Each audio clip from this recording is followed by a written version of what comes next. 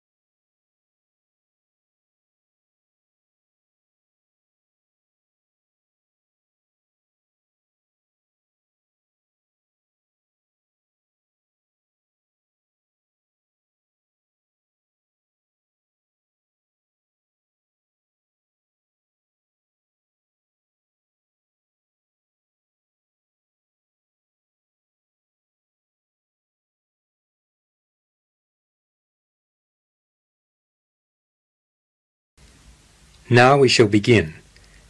Listen carefully and answer questions 1 to 4. Good afternoon. Can I help you? Yes, I've just arrived in town and I was wondering if I could get some maps and some ideas about what to do while I'm here. Sure.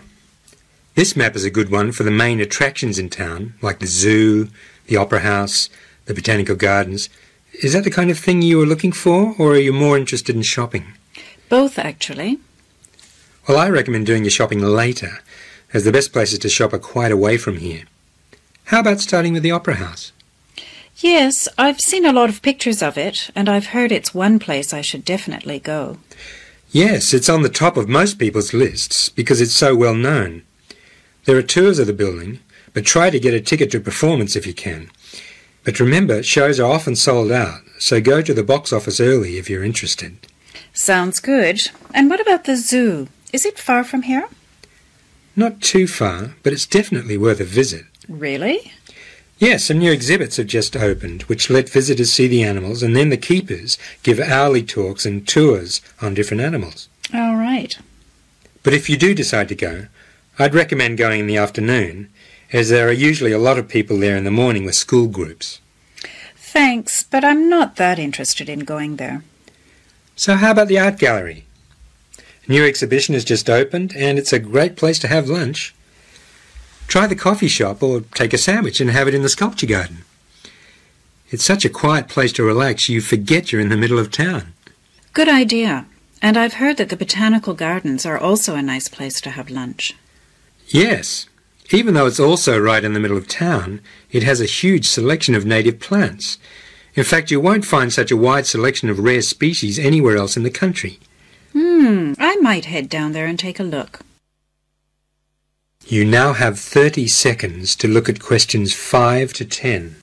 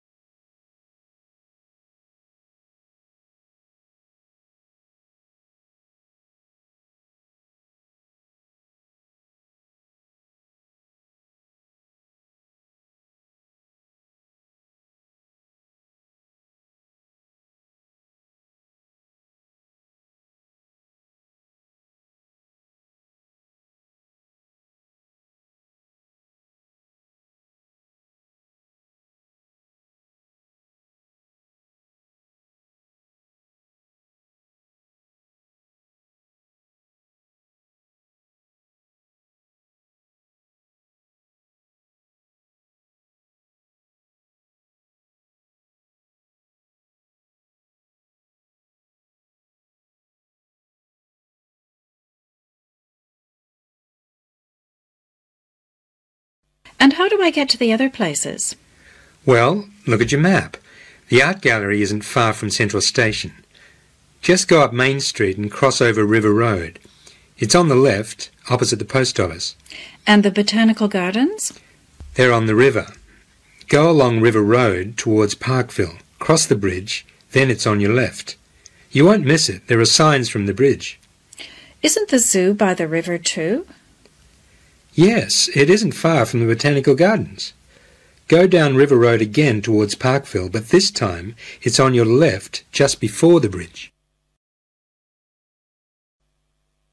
Now, while I'm here, I'd like to go out for dinner, but I've got no idea what the restaurants are like. Well, we've got lots of restaurants in and around town. It just depends on what you're looking for. Any suggestions? Yes, there's the Grand Hotel, which is a big five-star hotel not far from here. It's international style food, but it is a little expensive. Expect to pay around $50 per head there. Gosh, that's quite a lot. Yes, but there are no surprises on the menu, so there's always something for everyone.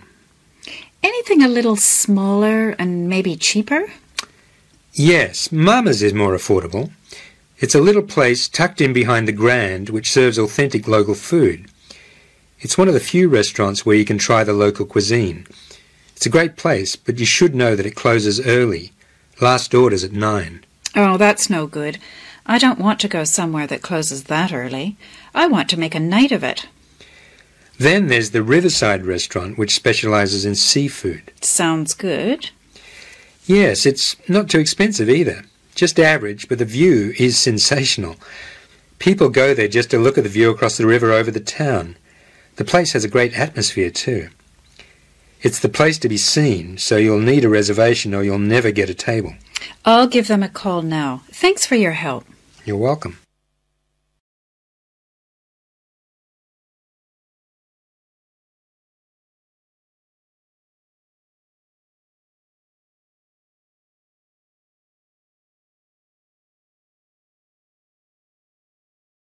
That is the end of part one. You now have one minute to check your answers to part one.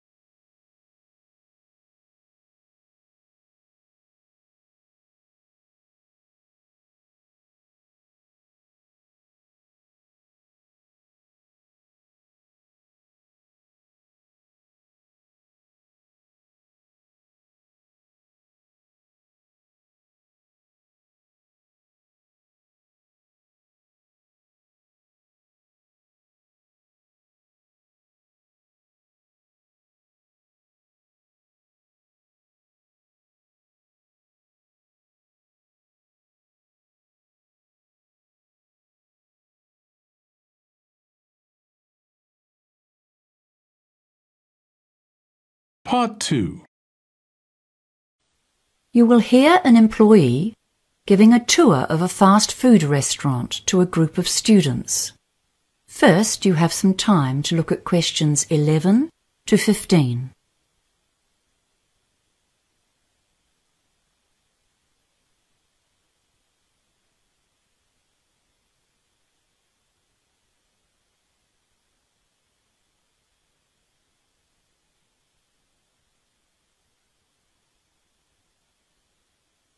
Now listen carefully and answer questions 11 to 15. Good afternoon, everyone.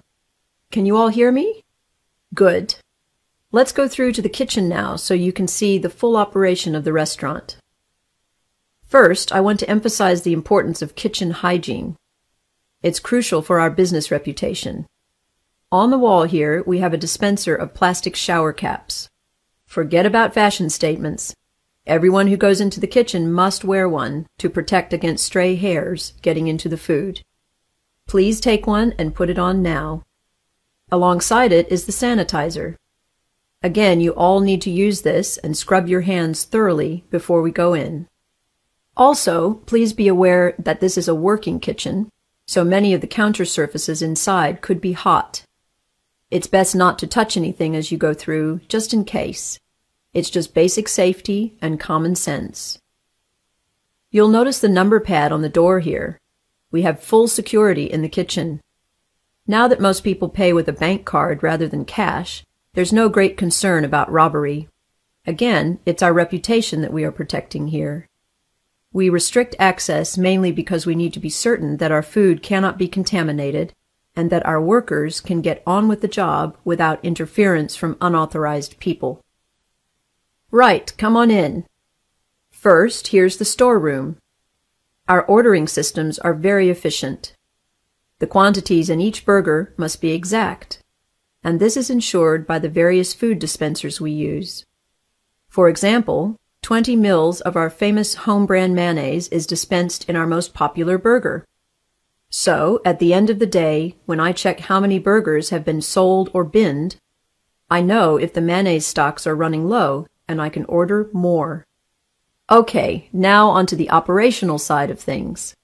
Consistency is the key here. Every burger in any of the brand's restaurants should have the same quantities of the same ingredients, so that all our customers are sure of what they're ordering. Our delivery standard is to keep the customer waiting no longer than two minutes for their burger. That's truly fast food. We don't like wastage, so we analyze our sales statistics to predict the demand for each day, and even the times of day when there is most need. However, to make sure that we can meet the production targets, we can't avoid some waste. At busy times, sometimes there'll be a stack of six burgers in the warming rack. We know these won't stay at their best for long, so after 10 minutes, they must go into the bin. Another key area is efficient staffing. We have some full-time staff, of course, but part-time staff will do maybe two hours at noon and another two at six, and other casual staff are on call at peak times. This really helps us with efficiency of service and the economy of the operation. We train all our staff at all the different stations, but when we're busy, each member of staff works at one particular station, grilling the buns, cooking the meat, adding salad, cheese, and sauces, or packaging. Before you hear the rest of the talk, you have some time to look at questions 16 to 20.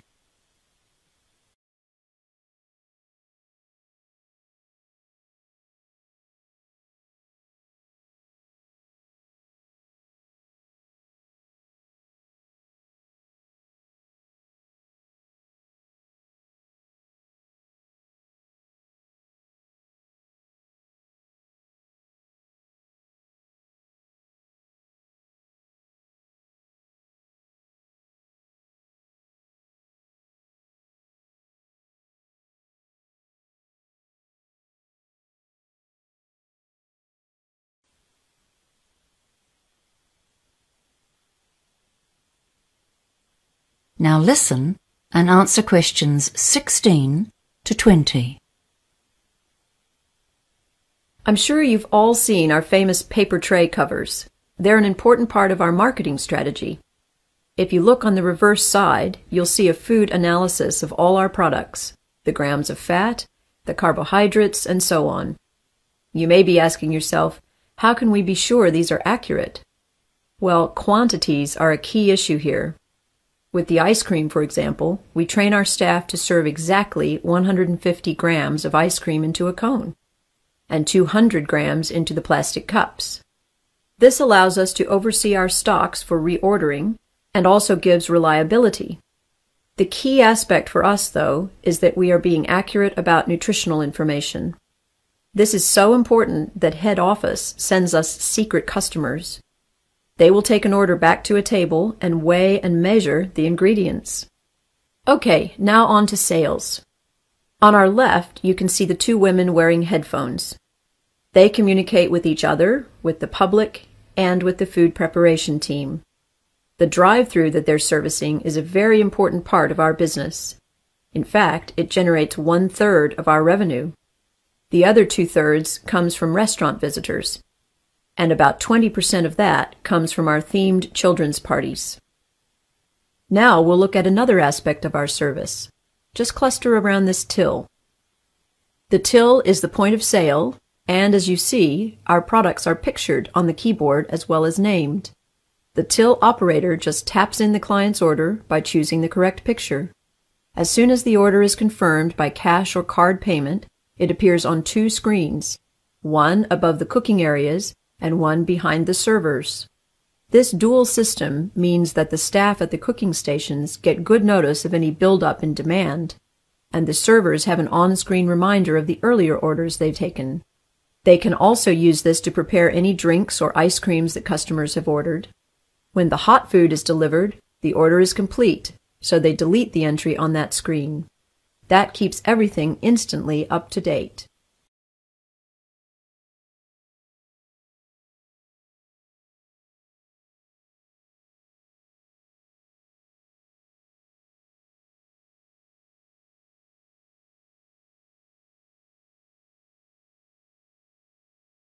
That is the end of part two. You now have 30 seconds to check your answers to part two.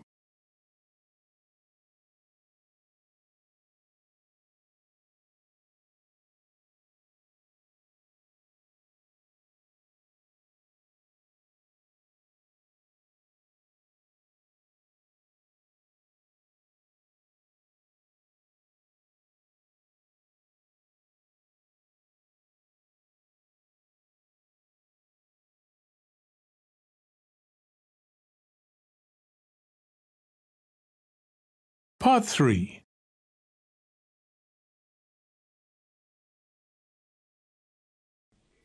You will hear a conversation between a professor and a researcher about road safety research. First, you have some time to look at questions 21 to 30.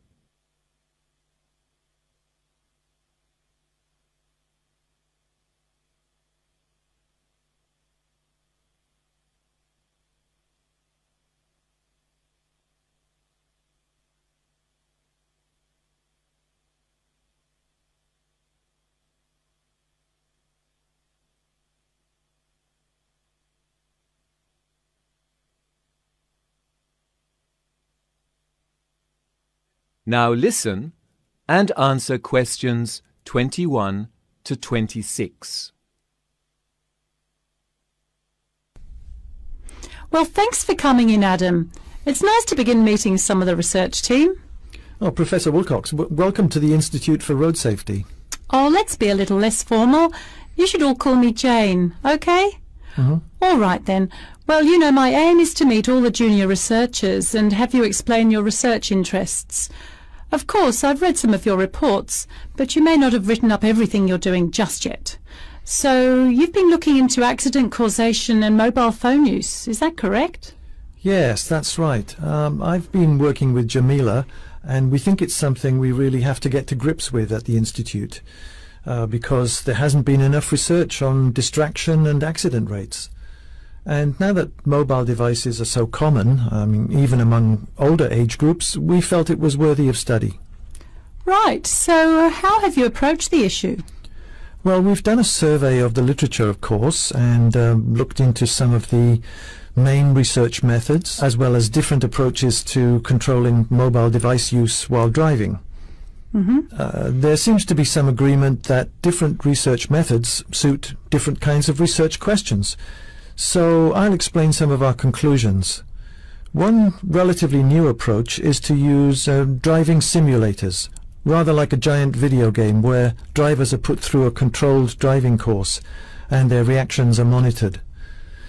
Now, this allows researchers to test out their assumptions uh, because they have complete control over the road conditions, of course, including weather and uh, other vehicles, simulators allow perfectly timed interruptions from incoming mobile phone calls or um, instructions to send a text and so on. But the simulator machines are very expensive and uh, may not actually show reactions in real road conditions. Okay. So then, there have been one or two limited studies of real observed driving using special police cameras. Mm-hmm. Um, these are set up at specific road locations and drivers are secretly filmed as they pass the camera, with the registration plate not visible for privacy reasons. So this approach is good for showing us how people use handheld phones in particular. Of course, if they're using hands-free connections, well, that may or may not be visible, so it isn't counted. Uh, the reason that this is limited is that obtaining the rights to see and use the video footage is a legal nightmare. But it does allow for the gathering of group statistics, such as gender or approximate age divisions. Mm. Well, then the next approach is based on survey questionnaires. These are a bit more well, traditional, of course. There is the usual issue around the fact that participation is voluntary, so you may get some bias in the statistics, but they are useful for surveying large numbers of drivers and quick data analysis. You can incorporate questions on a wider range of topics, of course. The last method we've looked into is um, small group research, or focus groups, I should say. That's relatively easy to set up, and the major point in its favour is how revealing it can be about drivers' attitudes. Not only to phone use, but to some of the measures proposed to try to control their behaviour with mobile devices. Uh, you can get into some detail there, although the analysis and transcription takes time, and one must be careful not to generalize. I mean, the findings are not hard data after all, but more qualitative, really. Before you hear the rest of the conversation, you have some time to look at questions 26 to 30.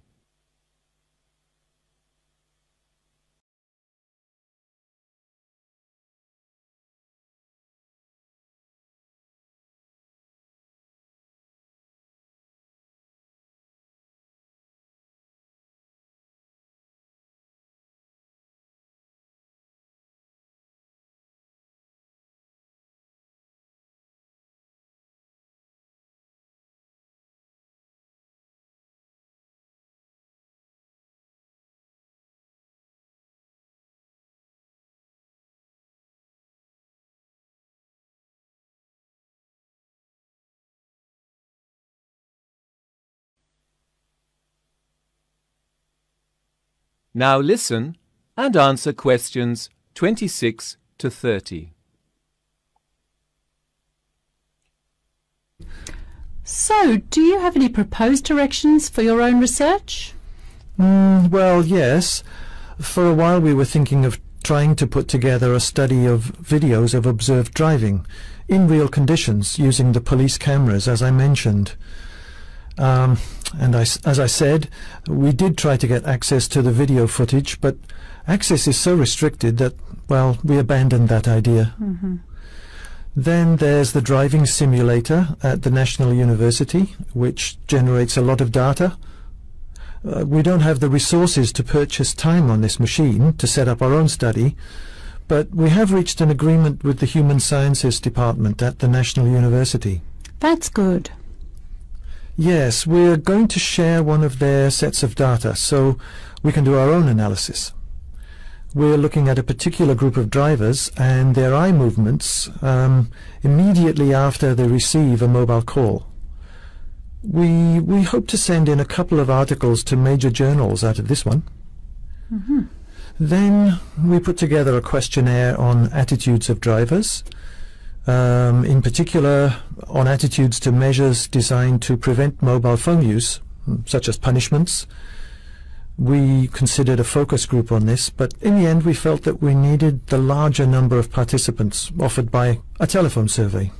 Okay. Well, I'll have a look at your proposals on those ideas when I've settled in. I haven't worked much with telephone surveys myself, but I do know you have to be very careful how you identify yourself to the participants and be prepared to spend a lot of time making calls in order to get the numbers, more so than with postal surveys. Mm.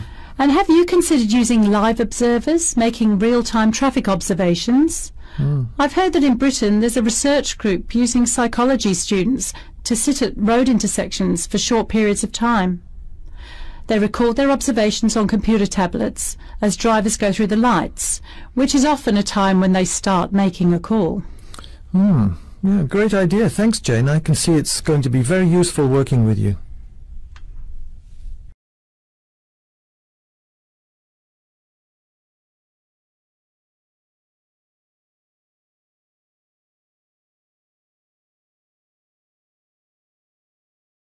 That is the end of part three.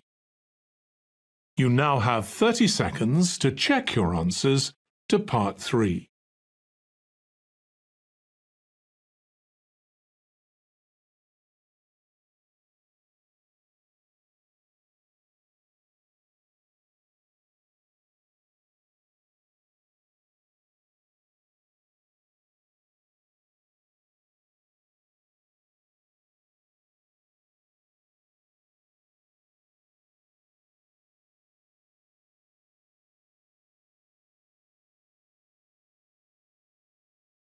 Part 4 Sally McBean is an archaeological scientist. In the following talk, she discusses the latest research on the Iceman. Before you start listening, you have 30 seconds to look at questions 31 to 40.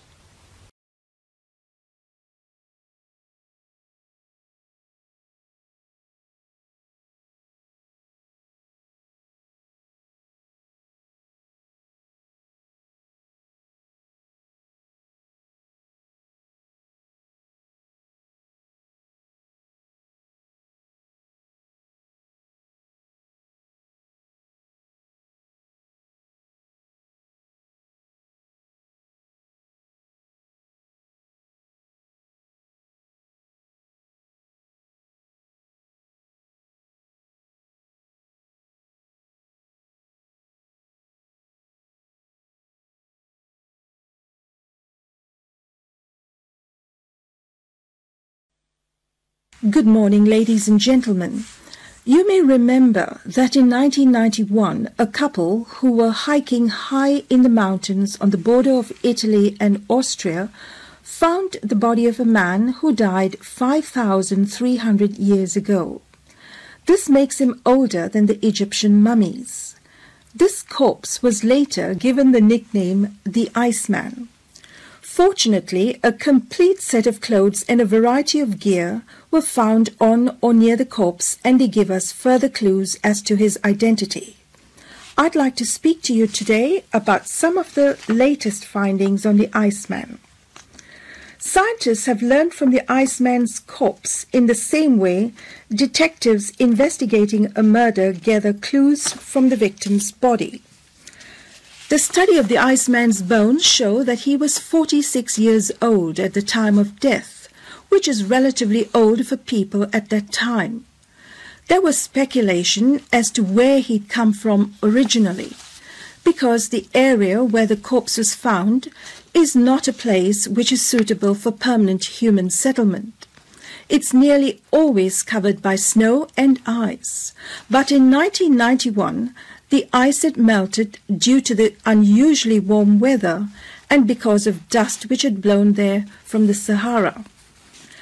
Subsequently, DNA analysis indicated that he belonged to a group from Central Northern Europe rather than from Mediterranean people who lived not very far to the south of the spot where his body was found. Yet it seems he may have moved around somewhat during his life.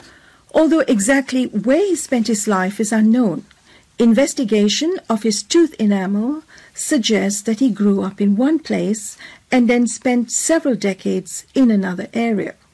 Due to his age and what he ate, his teeth were in fact very worn. Samples taken from his stomach and intestines give us some clues as to what he'd eaten shortly before his death, including grains. However, samples of his hair show that he usually ate plants and the meat of several animals. He lived in a time long before the development of modern medicine, but the tattoos which appear on his back were probably there for the purpose of acupuncture therapy. It seems that he was not in a good state of health in the last six months of his life. There are three lines known as Beau's lines on the single fingernail that was found. These lines occur if the nail stops growing due to illness and then starts growing again. It was initially assumed that he had died of the cold in autumn because of the presence of a piece of fruit which ripens in late summer.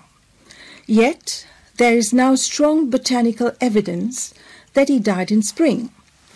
This is because pollen from the hop hornbeam tree was found in his intestines and that small tree blooms only in late spring. So he may have breathed some in or drunk some water containing pollen shortly before his death.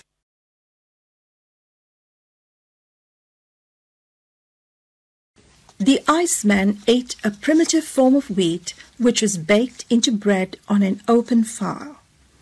The meat he consumed included red deer and wild goat, but it seems not to have included seafood, most likely because he didn't live near the coast. Interestingly, the cap he was wearing was made from bearskin. Leaves of moss was found in his intestines.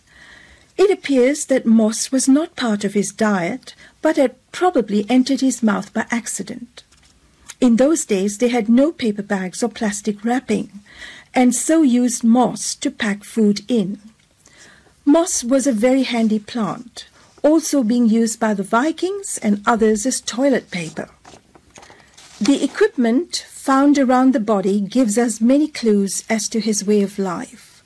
He was well prepared for climbing through the mountain pass, with a jacket made from deer hide and goat hide and a pair of shoes made from the skin of both goat and bear and then insulated with grass. Over the top of it all, he was wearing a cape made from grass and bast, which is made from bark. In fact, this cape resembles capes worn by shepherds in the Balkans, and the site where he was found is near an area where shepherds traditionally take their flocks in summer. Yet the theory that he was a shepherd has little else to support it. It's been proposed that he was a hunter due to the fact that he was carrying a bow and arrows. Some earlier ideas that he was a warrior or a trader of flint have been abandoned for lack of any supporting material. So what was he doing up there in the mountains, apparently by himself? Did he die from exhaustion and cold while running away from danger? Was he murdered? We may never know exactly what the cause of death was, because this would require an autopsy, which has not been allowed because it would cause too much damage to the corpse. X-rays have shown an object which appears to be an arrowhead in his back under his left shoulder. Yet, even if he was shot with an arrow, it was not necessarily the cause of death. There's a deep wound on his right hand from where he was stabbed with a knife, and he was carrying an axe. Was it perhaps for his own protection against his enemies? The Iceman was found lying on a large rock, and so it was believed initially that he had fallen asleep on the rock and then died. It's more likely that he died nearby and then floated into that position during periods when the ice had thawed. There are several indicators for this. Firstly, the awkward position of his left arm. Secondly, the position of his right hand, which was stuck under another rock. Thirdly, the missing outer layer of skin and the fact that some of his belongings are a few meters from the body. Despite these interesting findings, there are still very many things that we don't know about the Iceman. When the body was first removed, they thought it was a missing mountain climber, so a lot of evidence was destroyed. But hopefully, with further research, we will be able to solve some of the mysteries which still surround the Iceman.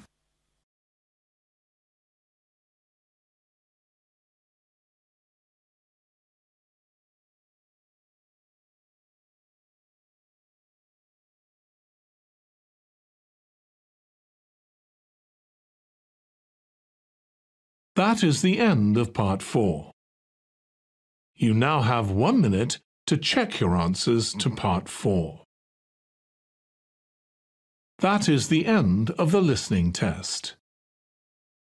In the IELTS test, you would now have 10 minutes to transfer your answers to the answer sheet.